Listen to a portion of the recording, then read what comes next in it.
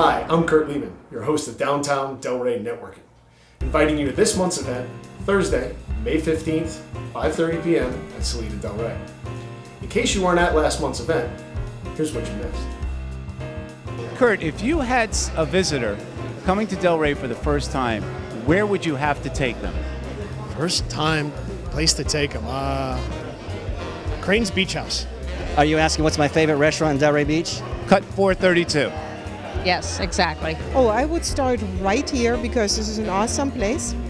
My favorite restaurant in Delray, the one I think is the most impressive, would probably 32 East. Uh, my favorite restaurant in Delray Beach is Cut 432. I would say my favorite place is called The Office. Yeah, absolutely, Solita. But I like Vic and Angelo's is one of my favorite. Tramonti's is another one. I'm actually new to the Delray Beach area, but I have been to a little Mexican cantina right around the corner here. I would shoot right over there. Ooh.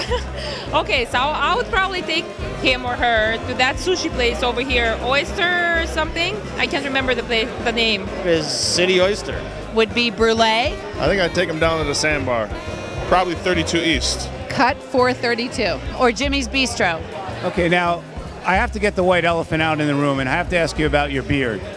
Did you? How long did it take you to style and grow it that way? Uh, I don't really have it styled all that well today. If I knew you guys were coming, I probably would have. I could, you know, do them into big long loops. For more information about this and other upcoming events, visit downtowndelray.com slash events.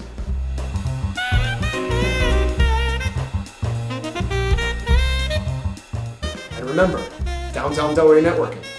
Free, it's fun, it's how business gets done.